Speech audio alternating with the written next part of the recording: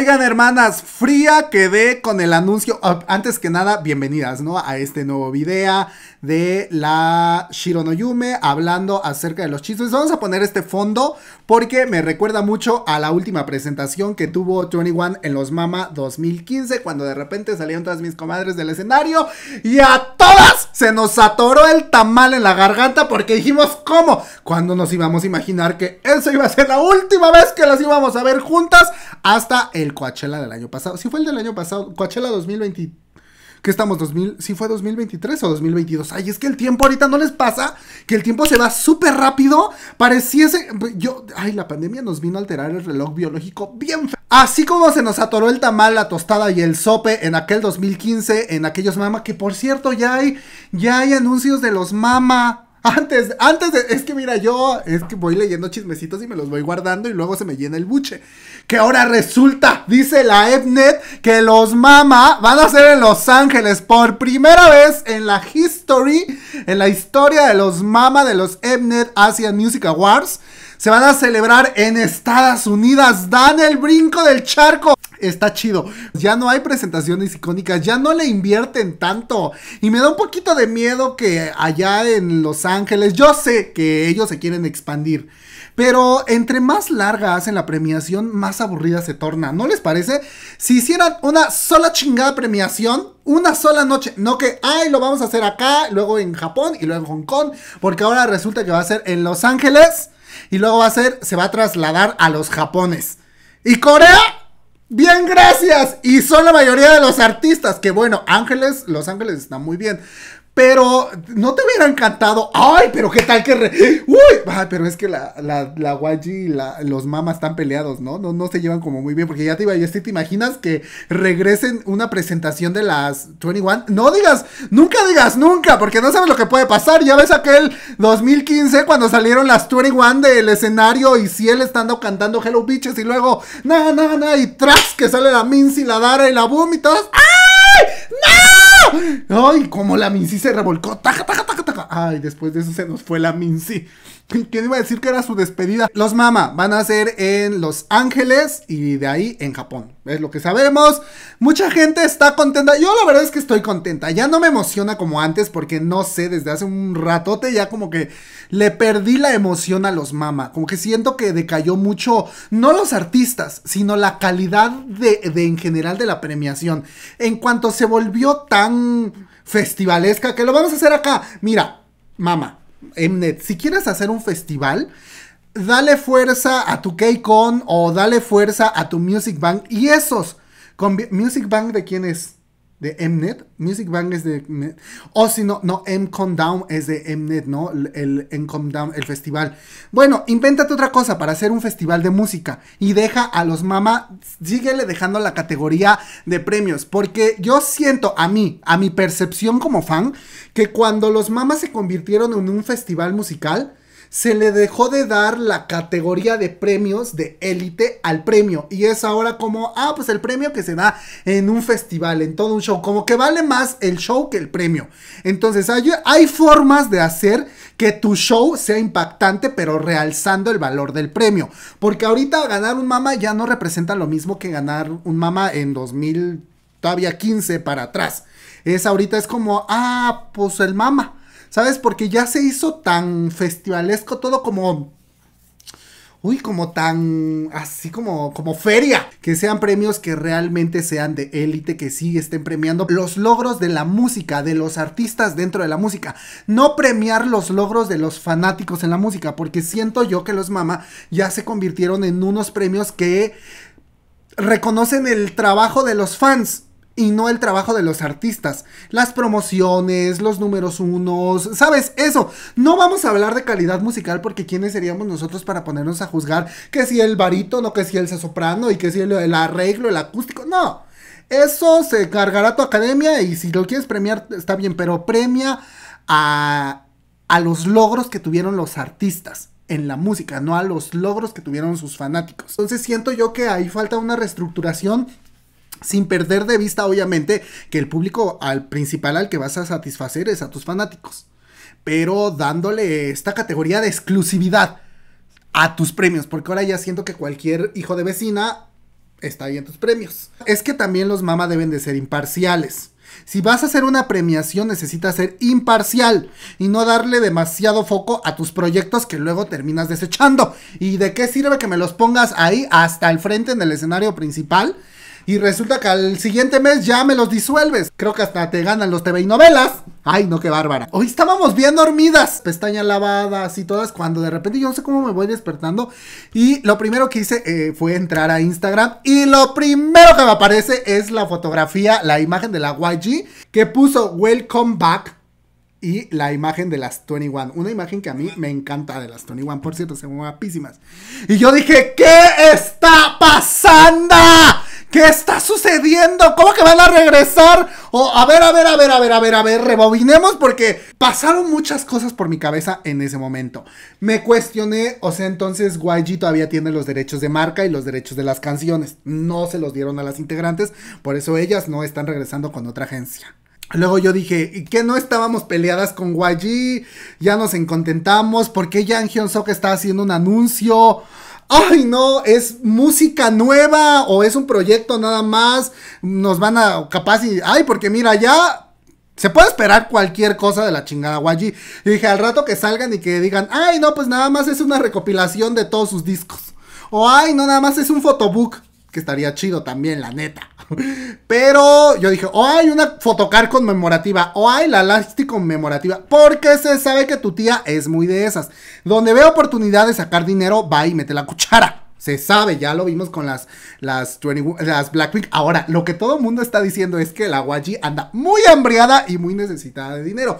Y sí, porque recuerden que la semana pasada salió ya los informes de la de los este, ¿cómo se llaman? de los organismos económicos de allá de Corea hablando del crecimiento en el K-pop y pues la YG está pues no en su mejor momento. No sabemos si es su peor momento. Yo me atrevería a decir que sí, pero se vio el impacto que tuvo la salida de Blackpink. La verdad, así, a reducidas cuentas y en reducida opinión y de manera general. Con eso te digo todo, se vio el impacto económico que tenía Blackpink como marca, como grupo y las integrantes y se vio significativamente en las finanzas y en los ingresos porque pues no hubo venta de álbumes, también recordemos que salió la Cámara de Comercio y de Exportaciones e Importaciones de allá de Corea. No me acuerdo cómo se llama, pero es el organismo que se encarga de medir las exportaciones e importaciones, sobre todo exportaciones de Corea. Y habló acerca de que por primera vez en nueve años hay un retroceso en la venta de álbumes en el. En vez de que creciera, hubo un retroceso de casi, no me acuerdo si de el 7%, algo más o menos así. Pero sí son varios millones de álbumes que no se están vendiendo a comparación de otros años, tomando como el punto de partida del crecimiento de la venta de álbumes el 2015. Obviamente muchos fandoms han salido a decir, pues es que cómo no va a haber una disminución si de por sí están incrementando horriblemente los costos de los álbumes, ya no cuestan lo que costaban antes y eso es cierto. Luego además de eso, grandes grupos están inactivos como por ejemplo BTS y como por ejemplo las Blackpink. Y otros grupos que han estado muy activos en otros años, este año como que no hubo tantos lanzamientos.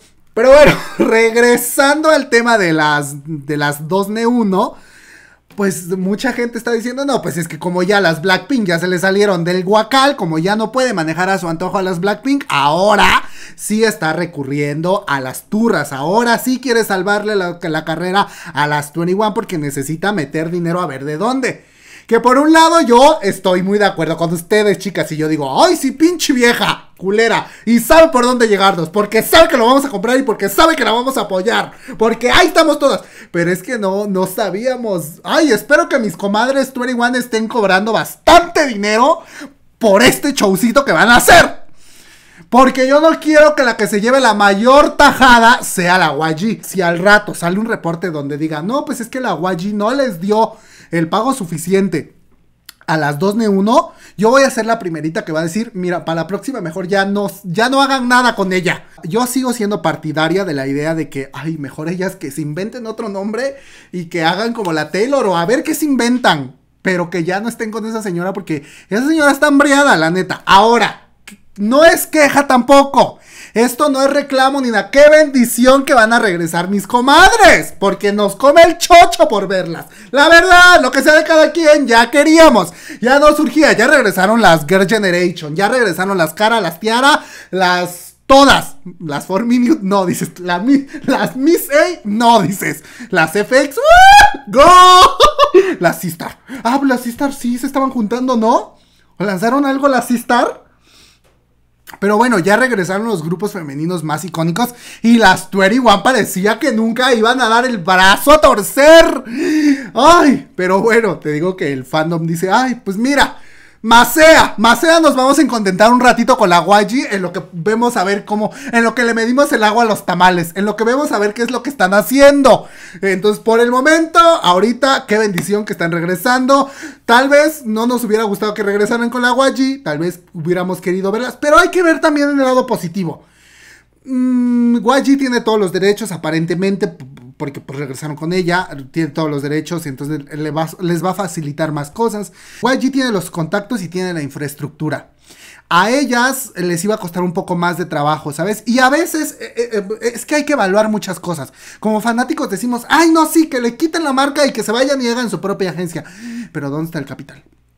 Y entonces en ese proceso de buscar capital y todo eso, a veces no salen como deberían de salir.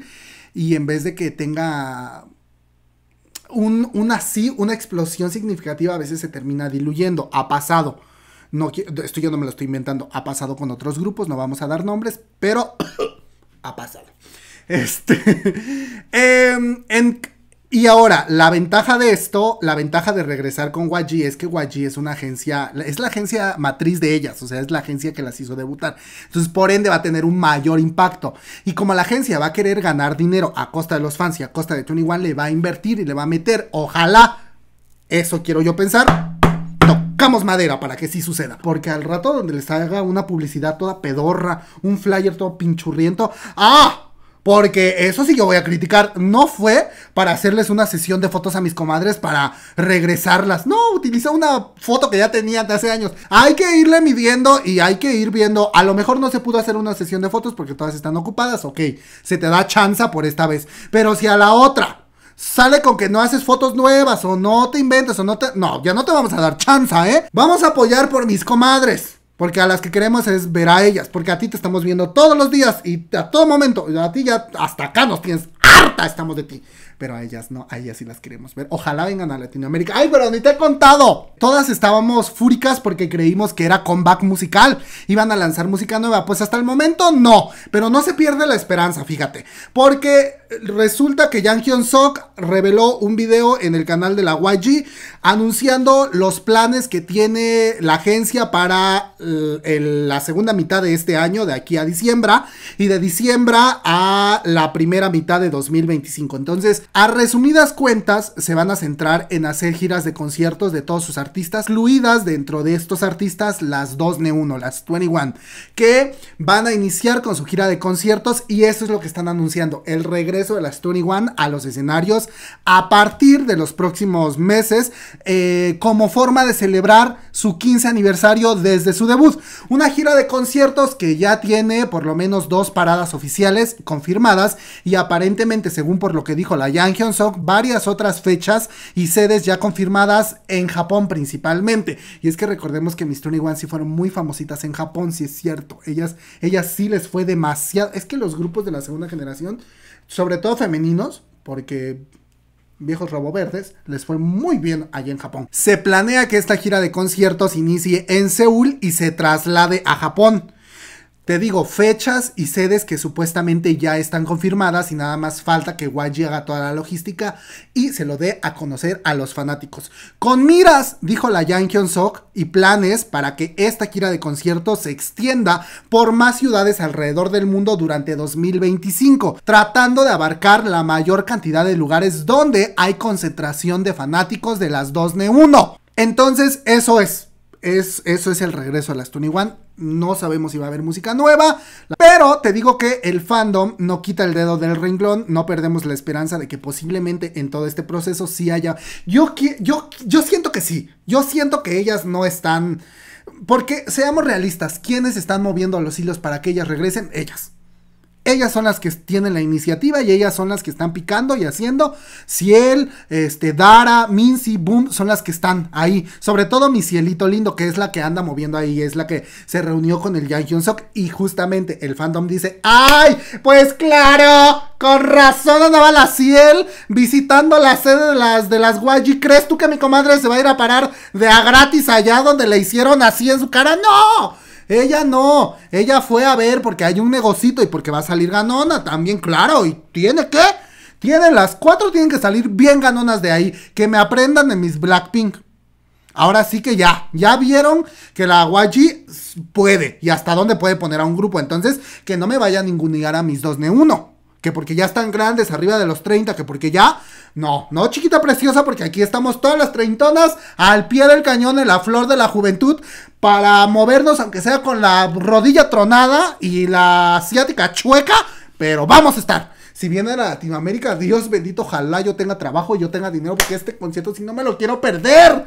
Porque de aquí, quién sabe hasta cuándo. Y a ver si hay otro. Si es Latinoamérica, si es México, YG 2025, no seas gacha. Deja que yo ahorre porque, ay, yo sí quiero ir. Yo sí quiero ir, la verdad. La verdad, ya me perdí dos grandes conciertos. Twice y Blackpink. Y este no me lo quiero. Como quiera, las otras dos, pues son grupos que todavía pueden regresar, pero estas, no, si no aprovechamos ahorita, ya no aprovechamos nunca. Te estaba yo diciendo que no perdamos la esperanza, a lo mejor si vemos una canción como para celebrar algo nuevo. Yo digo que sí, si el hito lindo ha de estar trabajando ahí, eso es en cuanto a 21. En cuanto a los demás grupos de la agencia, vamos a ver regresos de Treasure, vamos a ver regresos de las Baby Monster en próximos meses, e incluso la Yang Hyun Sok se atrevió a hablar de regresos de Weiner, de los integrantes de Weiner, más promociones, promociones y regresos para ACMU, Adocon Musican, eh, y que también va a tener su gira de conciertos. Y sobre todo, giras de conciertos de, de sus artistas para el próximo año. Y también anunció una monstruosa sorpresa para los próximos meses. Mucha gente dentro del fandom opina que puede ser, hay tres posibilidades. Como dijo monstruosa, el regreso de las de las Baby Monster. Otros opinan que posiblemente sea el debut de nuevos artistas de la agencia, un nuevo grupo por ahí, pero lo que se está apuntando más fuertemente por parte del fandom, lo que más se comenta, es el regreso de los YG Family Concert, que son estos conciertos donde están todos los artistas de la agencia y hacen como un festival de YG, que en su momento fue muy popular, fue de los más redituables junto con los Essen Town. Ah, entonces, pues bueno, vamos a, ver qué pasa. En cuanto a Blackpink, porque mencionó a Blackpink, se dignó el viejo. Sus labios todos partidos se atrevieron a pronunciar el nombre de Miss Negro Rosa. En cuanto a Blackpink, dijo que el próximo año es el regreso de Blackpink. Está planeado para el próximo año. No dio fechas, nada más dijo Blackpink regresa el próximo año y también gira de conciertos. Lo que sabemos que ahorita, próximamente en agosto, tienen las Negro Rosa. Es una firma de, autógrafos que ya, ya está confirmada. Es una firma de autógrafos. Eh, de ellas, pero nada más es como el único evento que hay para celebrar el, el debut este año. Y ya, pues nos vamos a tener que chutar otro medio año sin Negro Rose, otro medio año y a ver cuántos meses. A lo mejor regresan para la temporada de primavera. Yo, mira, intuyo, conociendo cómo es Waji, que nos van a empezar a preparar con Blackpink diciembre, enero. Y vamos a estar viendo regreso tal vez en febrero, un pre-lanzamiento entre febrero, marzo. Y luego tal vez tengamos otro single, marzo, abril, mayo, para tener lanzamiento de un álbum tal vez para la temporada de, verano, eh, que coincida con el aniversario. Y en ese lapso vamos a estar sabiendo acerca de la gira mundial.